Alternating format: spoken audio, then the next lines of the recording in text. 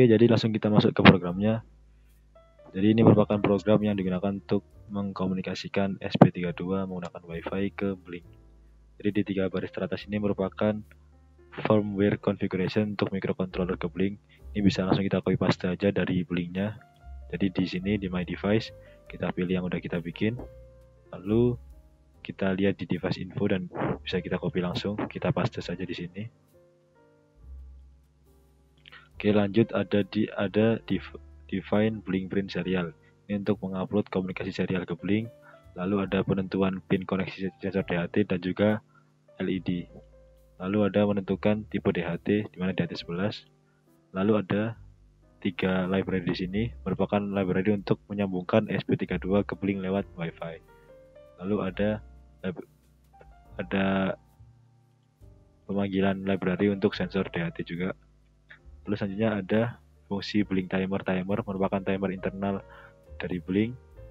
Lalu ada fungsi ini yaitu pendeklarasian sensor DHT di mana ini disesuaikan dari yang udah kita definisikan tadi, yang udah kita deklarasikan tadi. Ini jadi tipenya. Lanjut ada pendeklarasian token blink, nama WiFi dan juga password WiFi. Ini kita sesuaikan dengan WiFi atau hotspot yang kita gunakan. Lalu ada fungsi void my timer event. Ini untuk merupakan fungsi pengiriman data sensor ke Blink di mana di dalamnya ada hasil pembacaan dari kelembapan sensor DHT dan juga nilai pembacaan dari suhu sensor DHT. Dan juga di sini juga ada dua fungsi di mana untuk mengirimkan nilai pembacaan suhu ke Blink dan juga untuk mengirimkan nilai pembacaan kelembapan ke Blink. Nah, untuk nilai V1 dan V2 ini kita sesuaikan dengan virtual pin yang sudah kita deklarasikan di blinknya. Jadi kalau di blinknya kita pakai temperatur di V2, ya ini diganti V2, kalau ini V1 ya V1. Itu juga untuk yang kelembapan. Lanjut ke fungsi blink, blink right untuk V6, untuk virtual pin 6. Ini merupakan fungsi untuk meng-on meng-on-off-kan LED hijau atau LED yang kita gunakan.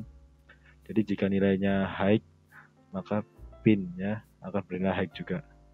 Jadi jika dari blinknya kita set dia nilainya high, maka nilai di pin 2 juga akan menjadi high juga, sehingga LED akan menyala. Begitu juga untuk kondisi yang low. Jadi jika kita set blinknya dia low atau tidak nyala, maka di pinnya juga akan ditulis tidak nyala atau juga diberi nilai low. Lalu ke fungsi yang voice setup. Jadi di sini ada inisiasi kecepatan komunikasi, lalu ada pendeklarasian pin output LED, lalu ada penghubungan koneksi ke internet menggunakan ini disesuaikan dengan wifi yang kita gunakan.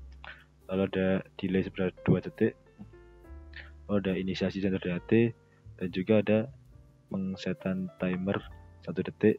Dan juga ini untuk void loopnya untuk fungsi perulangannya yang akan kita jalankan terus menerus ini ada yang pertama kita pakai delay satu detik untuk pengiriman data ke blink dan juga ada perjalanan fungsi blink dan juga ada perjalanan fungsi timer yang sudah kita bikin